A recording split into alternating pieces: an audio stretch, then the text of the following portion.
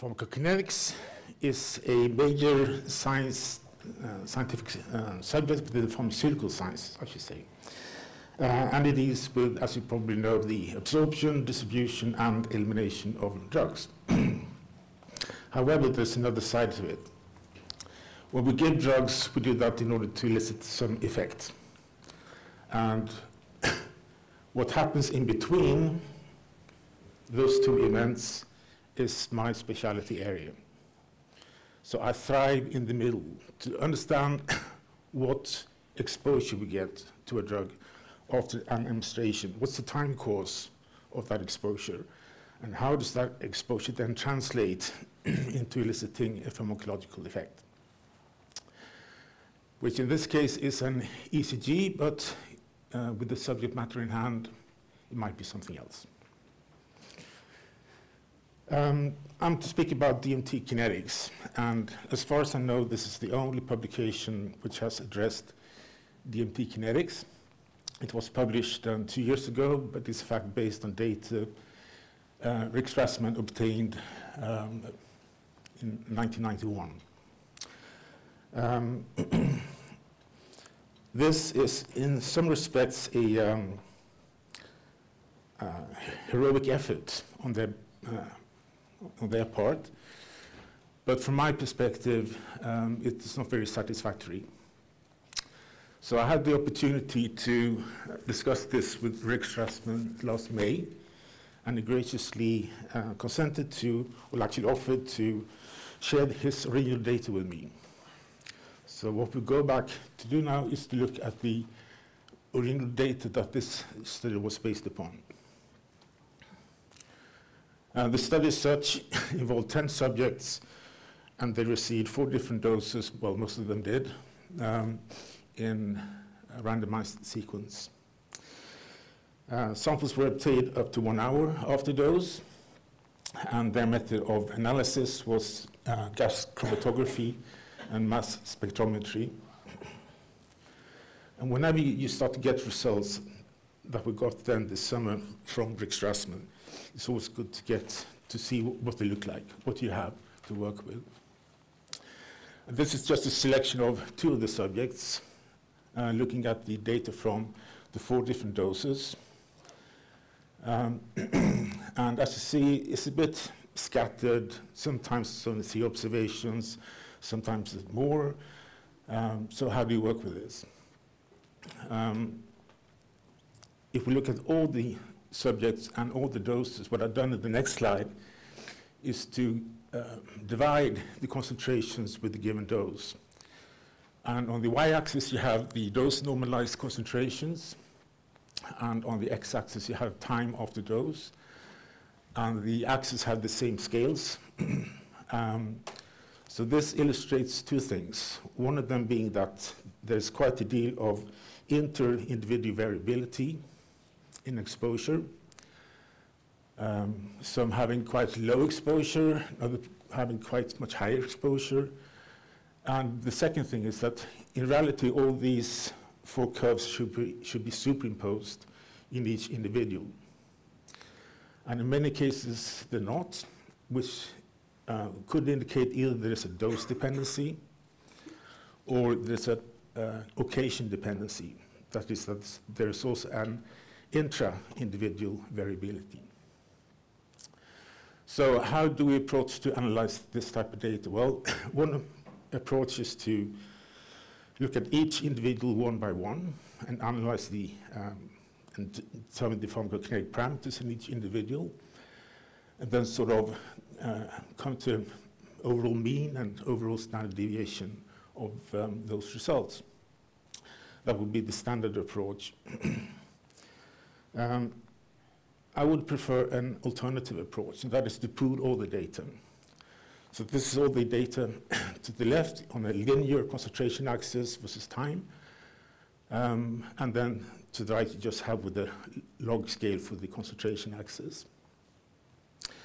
Um, normally, well, normally really, but this seems to indicate that there is a tailing in the data.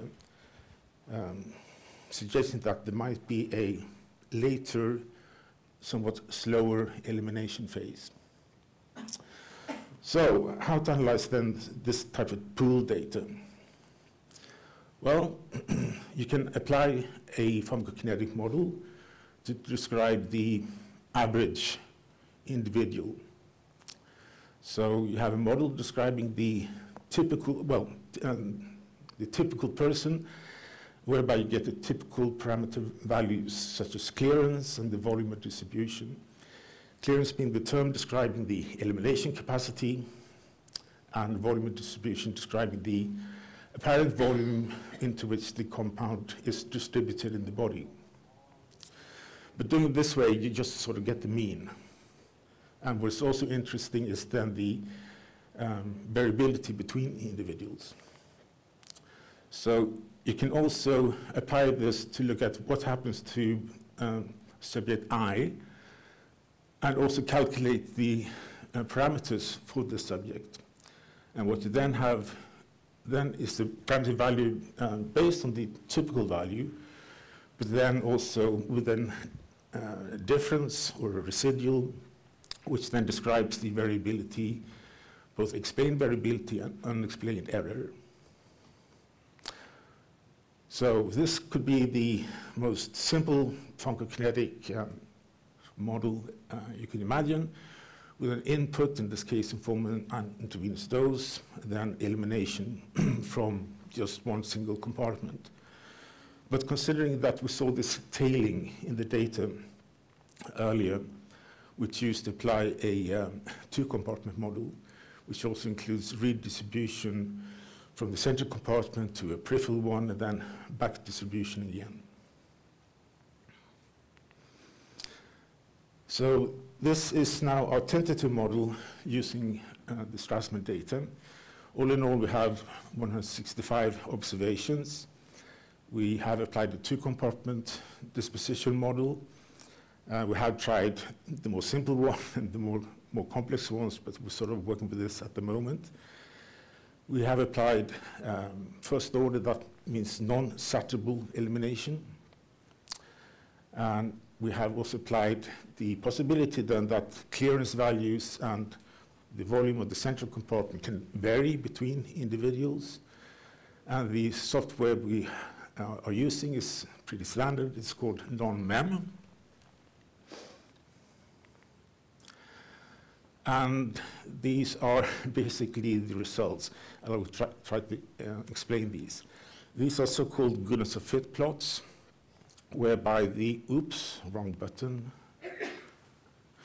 whereby the observed data is plotted against the population predictions, that is the typical predi value predictions.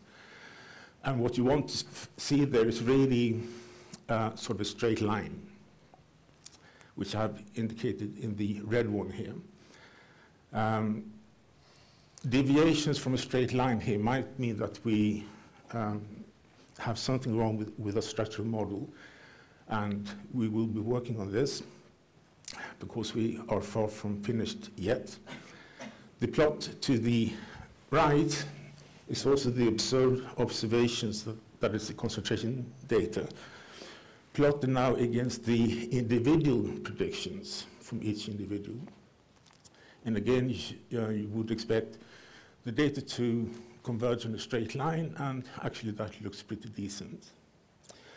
The two bottom ones are also standard goodness of fit plots, but these are related to the residuals, and basically they should be horizontal lines.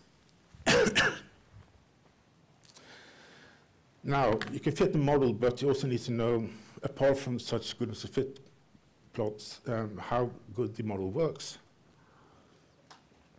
And one way of doing that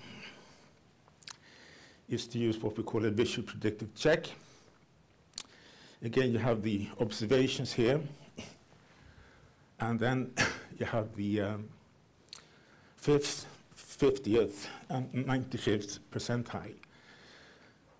Now, what we're doing here is that we take the model parameter values and we simulate the data set, let's say 1,000 times to see whether we can recreate the data, uh, that is, that the model can predict um, the data that we had from the beginning.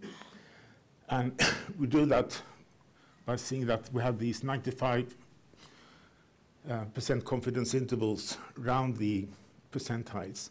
And ideally then the red lines should be within this sector, this sector, and that sector. And we're doing fine apart from the top ones here. But again, we are still very much into early stages.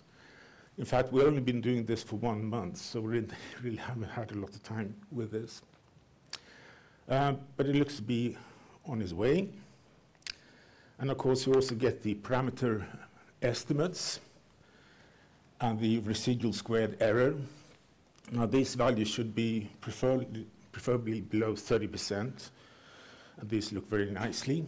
So we have a measurement here of the clearance for the elimination capacity, which is 13 liters per minute, and then also for the volumes, if you so wish. But this is the most important parameter because clearance is the parameter which will determine the degree of of exposure in an individual. What we had to the right, since we had the possibility to have uh, variability, variability between individuals, we have the inter-individual variability. And you as you see for clearance, that's more than 100%, which is pretty high. So this indicates that DMT does have a um, quite a substantial uh, inter-individual variability in how different people are able to eliminate the compound.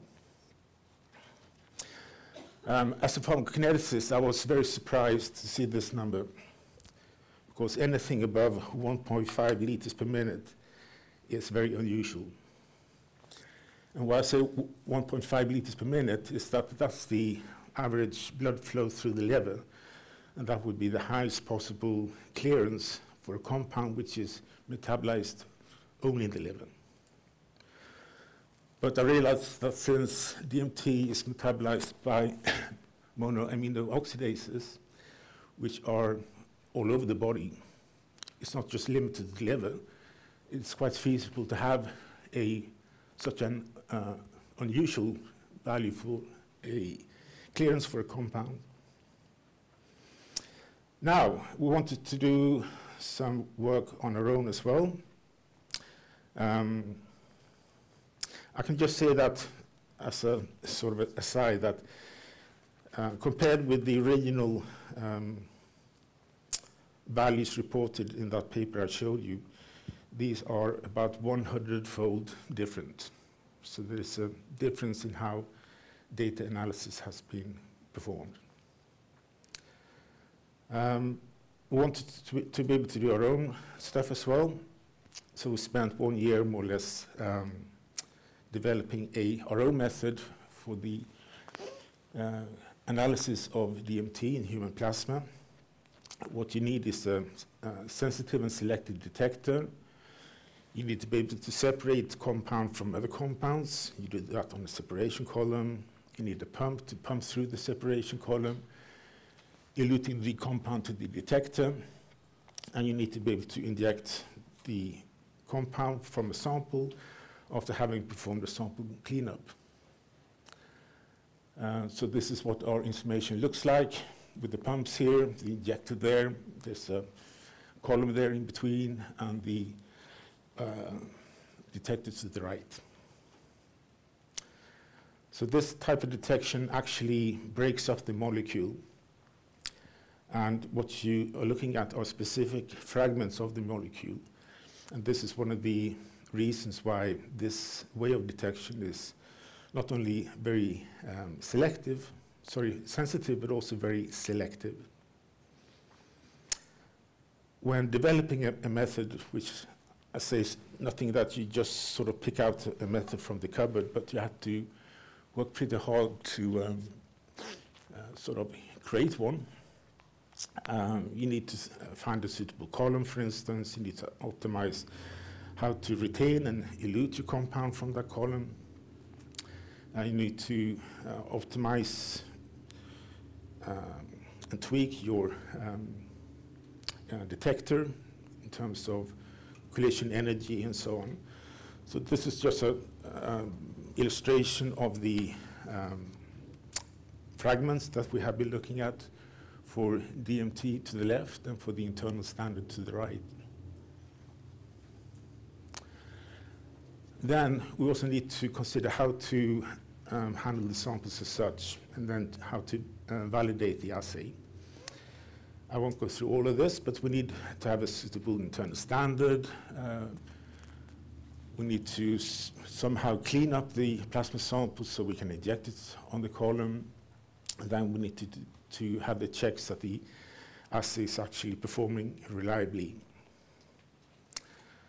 So our selected uh, internal standard is this one here. As you see, structurally very late, related to DMT, but with an extra carbon. And um, it is good to have an internal standard which is as physically, chemically as similar as possible to the uh, compound that you want to analyze. So our sample workup at the moment is very uh, simple. We just take 200 microliters of plasma. We add some acetonitrile containing the internal standard. We mix it and centrifuge it, and then inject five microliters of the supernatant on the chromatographic system. Uh, this is just to show the um, sort of standard curve that we get. Um, so we have a standard curve with eight calibration samples range from 2 to 800 nanomolar.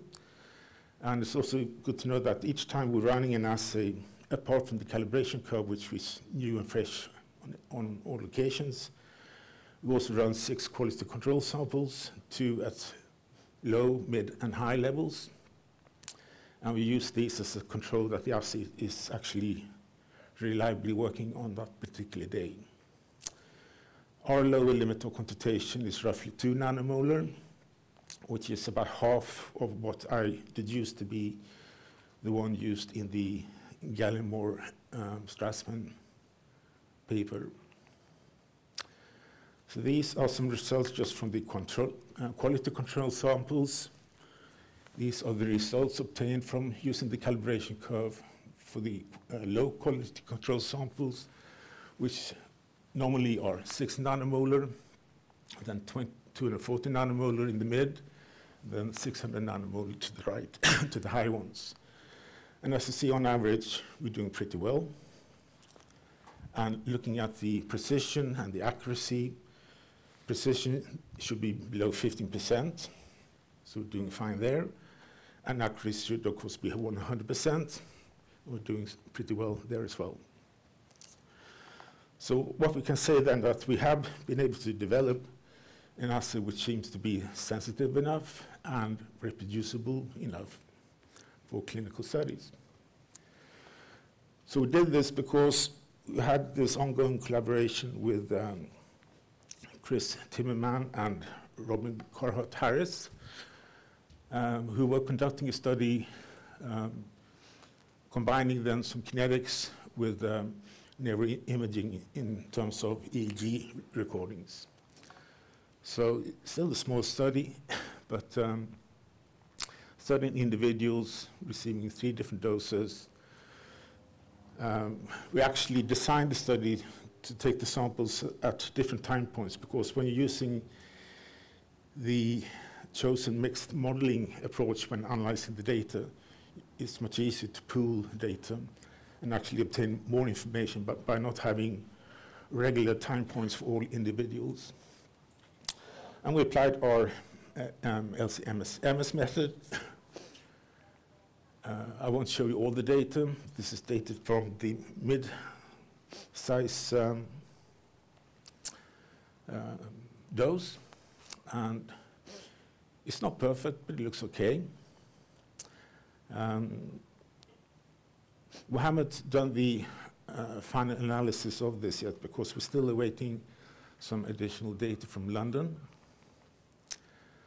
Uh, but having a quick look at this, uh, we get a clearance value of 18, which is very similar to the results from the Strassman data, which was 13, 14. Uh, again, a very short half-life, less than 10 minutes. Um, and a surprisingly high volume of distribution as well. Now, that's just the beginning, so to speak, because um, what you've seen are what uh, appears to be the only PK or pharmacokinetic results or data on DMT so far published, but kinetics as such is just kinetics, so to speak. And kinetics only becomes really interesting when related to effects. So from the same study, uh, these are some um, EEG data uh, when the subjects receive placebo. Uh, this is just the oscillatory pattern. And the black solid line here is the sensory um, results, that is the um, degree of, of, experience, so to speak. And as you see, the EEG pattern is different when DMT is administered, and also it follows in time-wise with the sensory data. Taking it a, a step further, looking at the different waves, again you have the sensory curve here, and then you have um, a decrease in the beta waves, a decrease in the alpha waves. And this is, to me, quite brilliant because uh, to me this gives a opportunity to seek to model not only the, the kinetics, but also the dynamics and link those two, to, two together. Um, and for a person with my interest, this type of data is a dream because it's rich, it is um, crisp, it's highly resolved, and that will make the PK slash PD modeling very interesting indeed. Um, so we will get some way to be able to understand how closely linked is the exposure and the time course of the exposure with the degree of effects and the time course of the effects. Now these, of course, are the immediate effects.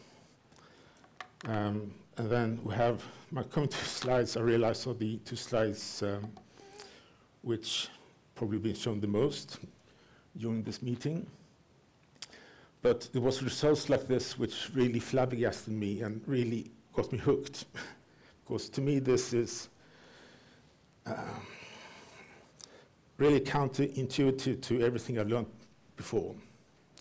This total disconnect in time between a very brief exposure to a compound lasting just a few hours with an effect lasting months. Um, you see this also in the uh, imperial study, this very long-lasting effects, but you also see that there's quite a degree of variability between the different subjects. Um, we don't know what the driving force is for this really prolonged effect.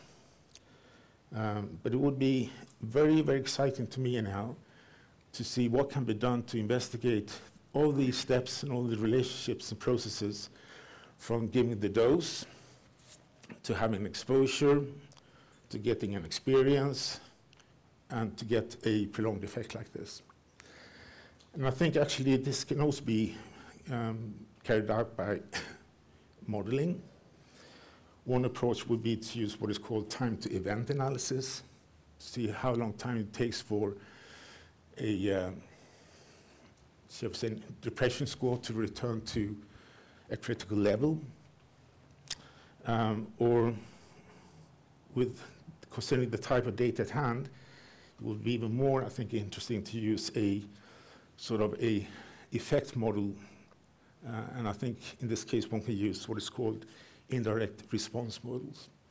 Because then we'll, we'll, be able to get a more complete overall picture of everything that is happening and also understand uh, reasons or causes of uh, individual variability in, um, in these effects. Um, yeah. So another reason why to obtain um, pharmacokinetic parameter values is that you can use them to simulate things. And this is just an illustration of this. Uh, this is an attempt to simulate uh, an infusion rate regimen by which one would be able to achieve steady state levels of DMT in such a short time of duration as possible, or in short experimental time as possible. Um, and of course, one idea behind giving a concentrate infusion or giving it by infusion is that you could emulate the um, situation of the ayahuasca and with its pr uh, more pr uh, prolonged experience um, and also uh, I think by using several different steps here or um, steady state levels this could be very um, interesting from a neuroimaging point of view and even to toy with the idea a little bit further. Um, would it be possible, for instance, to have some sort of self-controlled administration? That if we're at this level and ready to go to the next, you press the green button. If you want to go from there to there, you press the green button again. But if you decide that, no, no, enough for me, you press the red button. And of course, the concentrations will decline uh, as quickly as they would have after an intravenous bolus dose, that is, with a half-life of 8 to 10 minutes or so.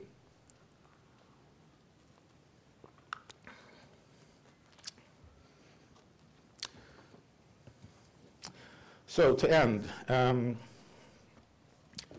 I know you might be interested when you pass your customs border tomorrow, when returning home, if you do to know how much you're packing. It's possible to calculate the amount of DMT you have in your body. Um, and the amount in the body is actually the plasma concentration times the volume of distribution. And if we take the plasma concentrations to be somewhere around our lower limit of quantitation, which is 2 nanomolar, of course, in blank samples, we don't see any DMT. So it has to be below that um, you're probably carrying about half a milligram.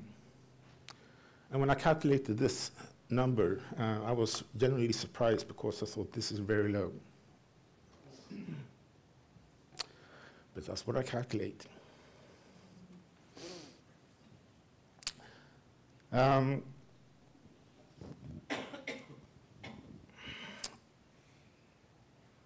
last week I got information that um, uh, Academy uh, has decided to sponsor a PhD in my group to work in particular with um, um, uh, PKDM of psychedelia, um, which is happy news for me. Um, it means that uh, we will have somebody who will be able to continue assay uh, development and validation. We would like to include the DMT metabolites, we are considering methoxy-DMT. Um, we might also consider other compounds depending on upcoming collaborations to which we are very open to. And above all, we would like to develop um, our ideas for more modeling and simulation in this area. Um, so to wrap it up, um, I'd like to thank and give acknowledgement to Adam Bendrua, who's here, and also Kurt-Jürgen Hoffmann, who both put a lot of work into developing the assay. To Sandra Granana, who's also here, who has spent one very intense month doing the modeling of the Strassman data. Um, and there's still more to do there because we have other things to include like gender and age and dose size and things like that. So who struggle on, and naturally also um, Rick Strassman oops, and uh, Chris Timmermann and Robin Carhart Harris for um, sharing the data. Uh, I would also like to thank um, Philip Ashton for uh, bringing me, making me interested in this uh, in the psychedelic research area, and also for his encouragement for uh, take my first steps in this direction. So uh, this has been rather a different subject. Um, but um, whereas I think before we had no reliable data or results at all on DMT, I think we now are getting there.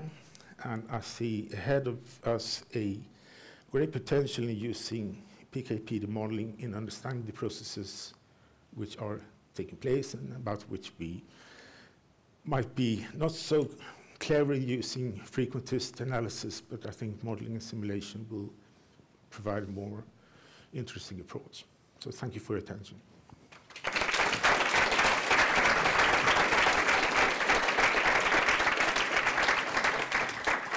Well, thank you very much to Michael Ashton for this interesting lecture. Any questions on uh, human pharmacokinetics? We have Benjamin here. Hi, thanks very much. The last slide that you gave was talking about the plasma concentrations DMT. Are you saying that DMT is in fact endogenously produced? Yes. Well, that's a. I mean, I agree with you personally, but there's some people that don't, and I'm wondering uh, how and where do you think it's produced? Oh, um, I'm very new to this area, so I wouldn't be able to give you a very good answer on that. Some people have suggested the pituitary gland, um, but you should not take my word for it. Um, I think one of the aspects of this surprisingly, well, to me, surprisingly um, low amount of DMT in the body is that if there is an association between uh, near-death experiences and DMT, at least from that calculation um, point of view, there's very little DMT in the body to do that. Yes. Yeah, well, the it had been suggested in the in the pineal gland, but actually the enzymes that, so for example, in rabbits, they have been found in the pineal gland, the, enzymes that should metabolize, uh, for example, tryptamine into into DMT, but not in humans. Actually, Rick Strassman tried to, to get a pineal gland from 10, 10 corpses, mm. and he, he couldn't find any DMT, but they, of course, they were not frozen and properly preserved. So it's a very, very difficult problem, I guess. So, um, and about the, the near-death experiences, yeah, that, uh, there is, a, well, I don't know if David Nichols is in the audience, but I think he, he wrote a paper about the, precisely saying that the concentrations could not be enough in principle to really reach the threshold level. Mm. My question is more about like, uh, it's, DMT it has this special status because it seems to be it seems not to produce tolerance, you know, tolerance uh, as opposed to many other psychedelics, serotonergic psychedelics. So Rick Strassman did, did studies in which he gave repeated IV injections, and the effect apparently there was no no tolerance. So my question is, how, how, could that be? I mean, how could it be that, that the, the certain uh, receptors are not being downregulated by DMT agonism? Or, or, maybe if that could be the case that they are in fact, but they are so so so at time scale so slow compared to other psychedelics, so that basically this this model, especially the model that has been put forward in the art article by Gallimore and Strassman, could completely collapse if even that small down-regulation is not taken into account. So what do you think about this problem of, of tolerance and, and, and um, again, I don't think I would be able to give you a good um, answer on that, but I could suggest something that if you do have um, acute tolerance, uh, one could imagine doing a study with uh, low-level concentrate infusions and then see what happens over time. Mm -hmm. that hasn't been done? Not to my knowledge, no. Hi, mm. I was just wondering, do we know if DMT binds to any plasma proteins? That's on our list.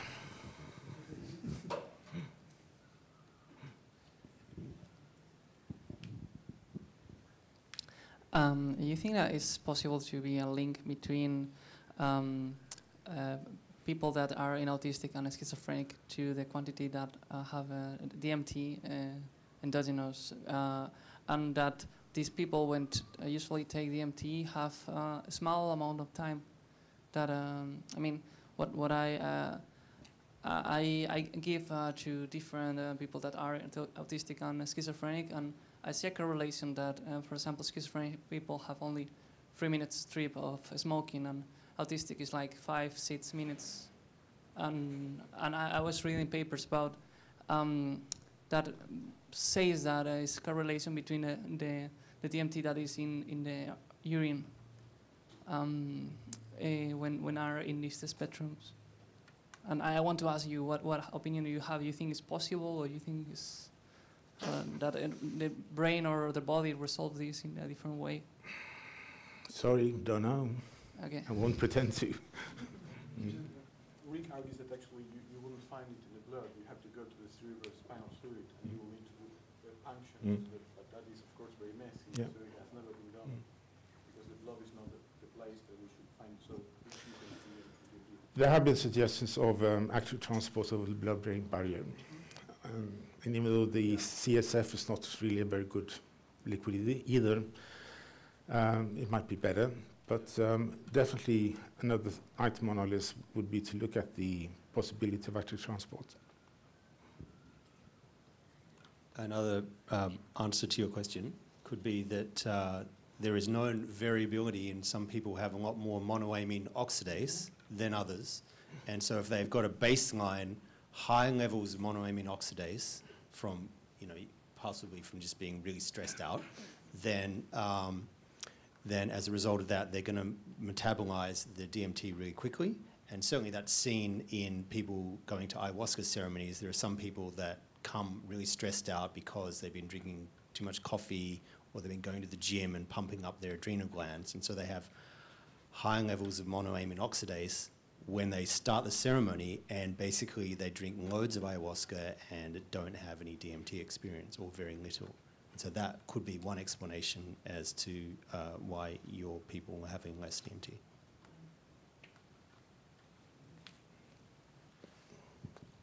We have time for a few more questions if anybody has any more on the heart. All right, then um, I once again would like to invite everybody to uh, join tonight's uh, after party at Norden.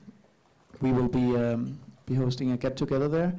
You can get tickets online at a link and the discount code because it is now free, so everybody and as many as possible can join. Is Afterglow. So please do join. Um, let's give another big hand to uh, Michael Ashton for his work.